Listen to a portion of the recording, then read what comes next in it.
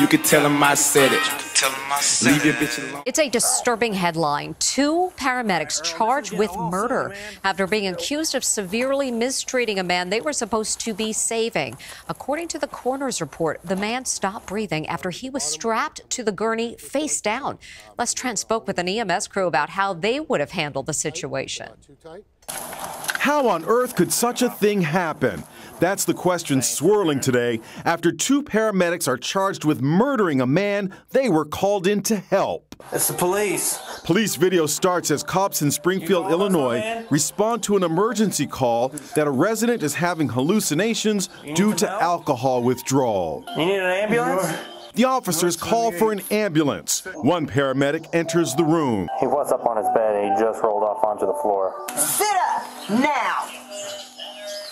I am not playing with you. You're gonna have to walk because we ain't carrying you. The cops help the man to the waiting ambulance. He has difficulty walking, but makes it outside. Come on, buddy. Then, with a slam, he was placed face down on the gurney and strapped in.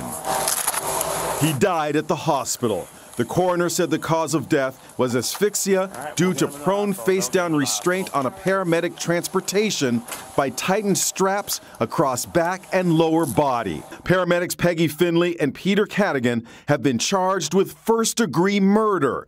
Finley's lawyer tells Inside Edition there's no physical action that my client committed that was responsible for that gentleman's death. Paramedics across the nation are paying close attention to the case, including these EMS instructors. Would you ever put a patient on a gurney on their stomach? No, I would not. And why not? Because you run the risk of having them face down. They can aspirate. They won't be able to breathe if they vomited, for example. The attorney for the man's family said in a statement there is no excuse for the actions of the EMS workers who showed neither care nor compassion.